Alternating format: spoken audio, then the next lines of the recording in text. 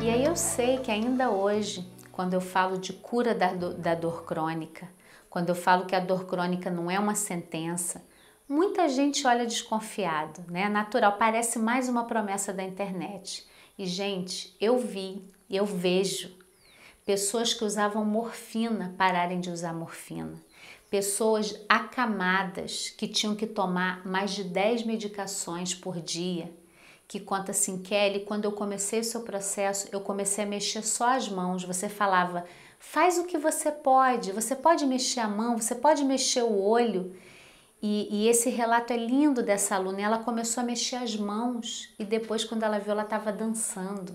Ela estava sentando na beira da cama, foi um processo. Então não é uma pílula mágica, né? Mas é por isso que eu digo que eu não ajudo a ninguém, eu trago uma possibilidade à pessoa que vai implementar.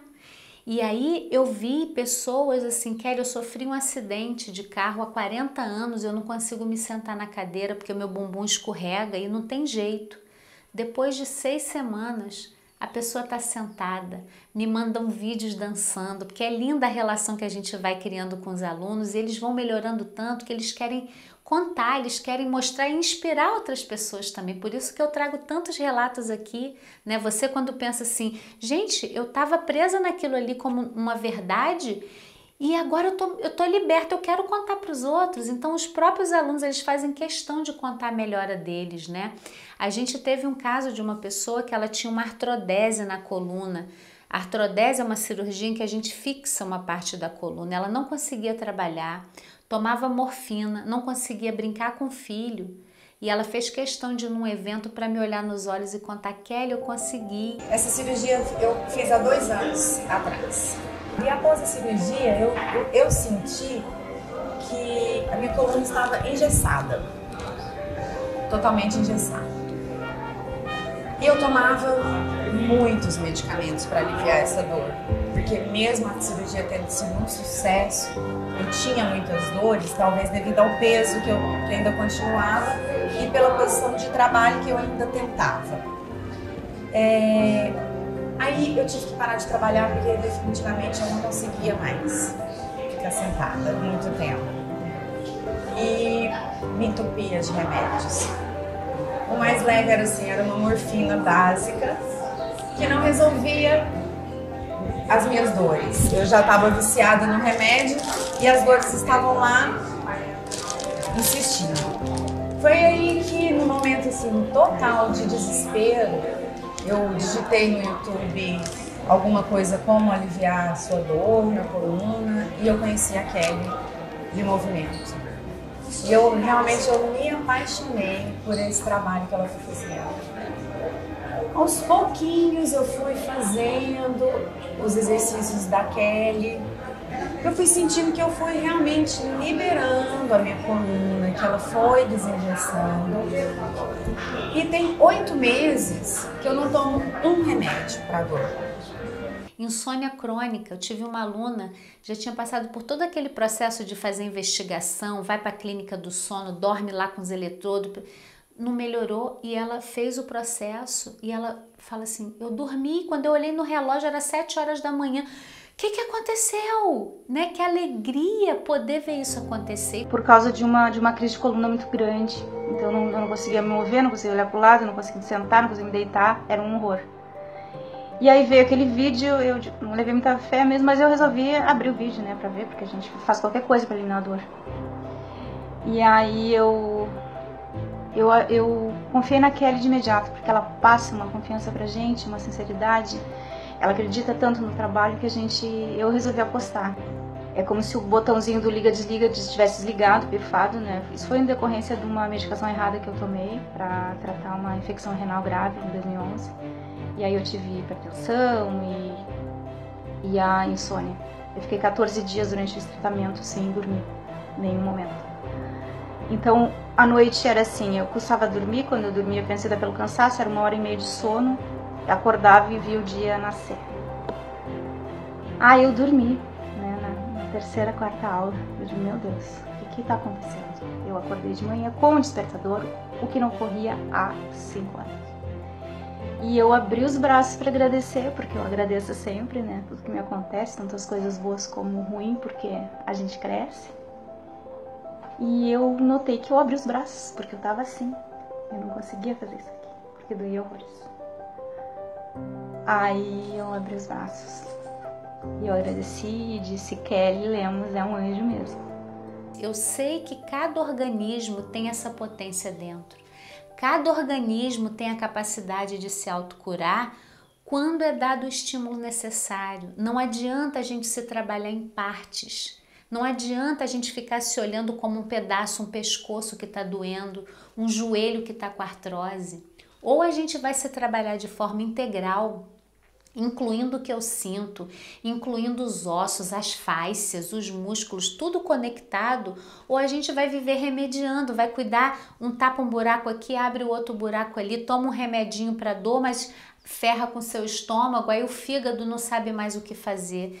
Então, é, eu poderia ficar aqui horas, né, contando. Teve o relato de, de homens, né, é, com muita tensão no pescoço. Me lembro de um que estava com a cirurgia marcada para operar o pescoço.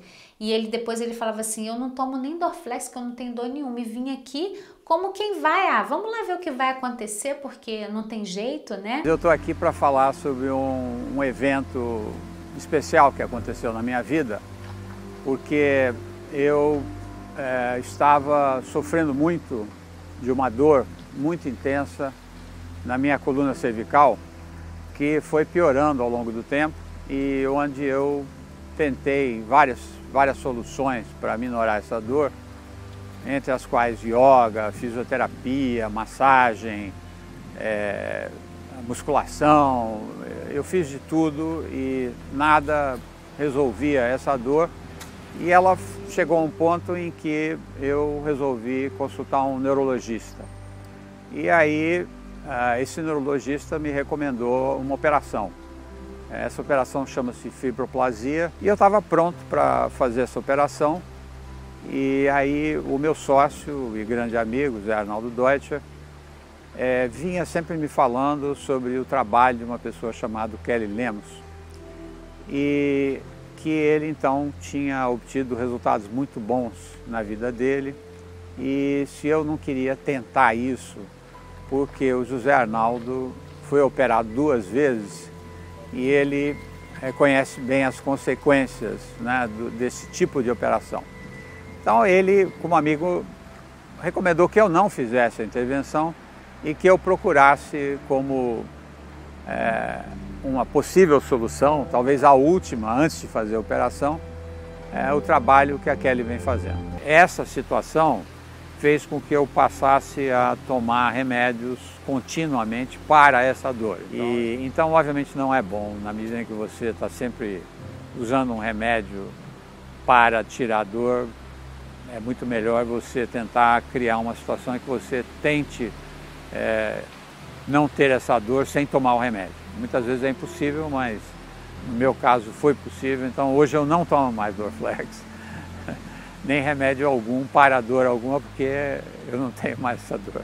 Teve o caso do meu companheiro dentro da minha casa que deixou de operar o joelho, estava com tudo pronto para fazer a cirurgia de joelho e hoje ele corre 10 quilômetros duas vezes por semana em terra, em asfalto. Então, isso fui eu? Não, eu trago um caminho, mas é você implementando que você vai ter esse resultado. Daqui a pouco estou eu experimentando na corrida e o joelho não estava. Começou a dar um pouquinho menos de sinal, corria um pouquinho, aí dava um pouquinho de dor, eu parava. Mas eu vi que eu fui começando a, a voltar a minha performance da corrida bem lentamente. Né?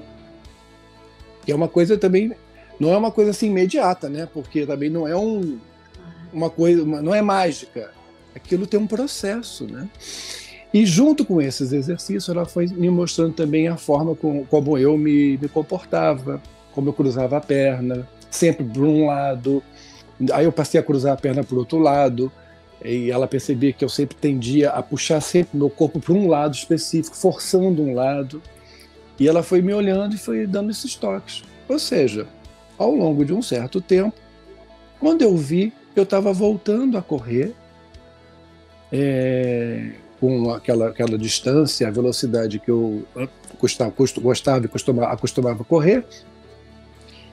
E o joelho foi dando sinais muito ainda, ainda uma dorzinha aqui, uma dorzinha ali. Quando eu vi, acabou. Acabou. Acabou tudo. Fibromialgia, eu me lembro que na época que a Lady Gaga não pôde vir para o Brasil porque o show dela foi cancelado porque ela estava com crise de fibromialgia, eu estava com uma turma de 500 alunos e ali tinham várias mulheres com fibromialgia. Elas me mandaram um monte de vídeo. Kelly, você tem que falar com a Lady Gaga. Ela acha que fibromialgia não tem cura. E aí eu digo mais uma coisa que é interessante: nem sempre o recurso financeiro é o que garante que você vai ter acesso à melhor tecnologia. Né? Eu falo, pessoas que, que têm muito dinheiro, que poderia ter acesso a qualquer tipo de tratamento, elas às vezes o que elas acessam é o que a mídia mostra, é o que a rede da, da doença mostra para as pessoas. Então, ter um trabalho focado na saúde não é fácil, porque gerar saúde nas pessoas prejudica. As pessoas deixam de operar, elas deixam de tomar medicamento, elas deixam de depender de próteses, elas deixam de depender de um monte de profissional que cria uma rede imensa para elas estarem ali dependentes.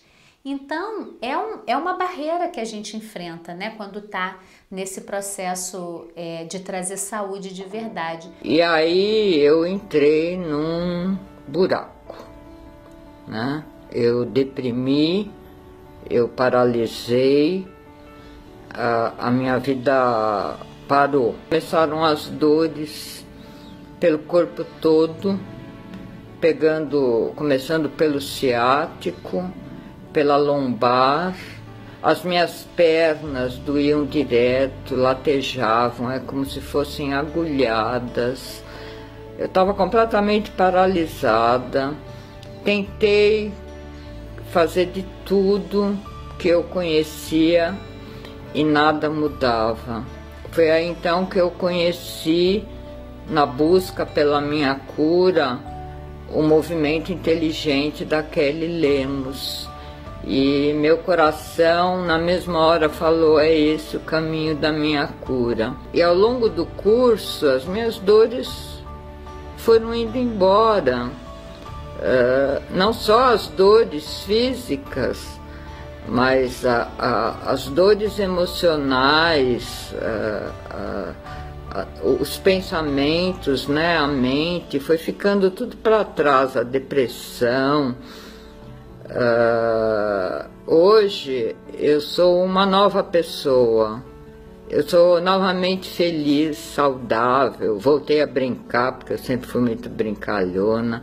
Voltei a caminhar pela vida com muita alegria e gratidão, como sempre foi. Eu me lembro de uma pessoa que ela falava que ela já tinha meio desistido da vida. Ela falava assim: olha, eu estava em depressão, eu estava na cama na época, mas por causa do meu neto, eu falei: eu preciso fazer alguma coisa.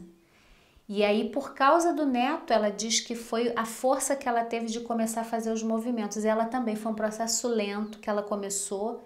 Depois ela manda foto para mim com ela no pula-pula com o neto dela. Então você olha aquilo e você fala: "Cara, isso eu fui escolhida porque explicar para você que que eu tenho dor crônica ou que eu fui fazer isso para ajudar alguém da minha família não é uma verdade, mas quando eu vejo esses casos, sabe? É uma emoção assim de Quantas pessoas ficam sofrendo, achando que não tem o que fazer e eu vendo isso acontecer diante dos meus olhos, né? Então é uma é uma realização, é uma alegria poder fazer isso. É emocionante mesmo. É, é muito forte. Quem tem dor tem pressa. Será que a dor é uma demora? É um castigo? Ou é uma chance?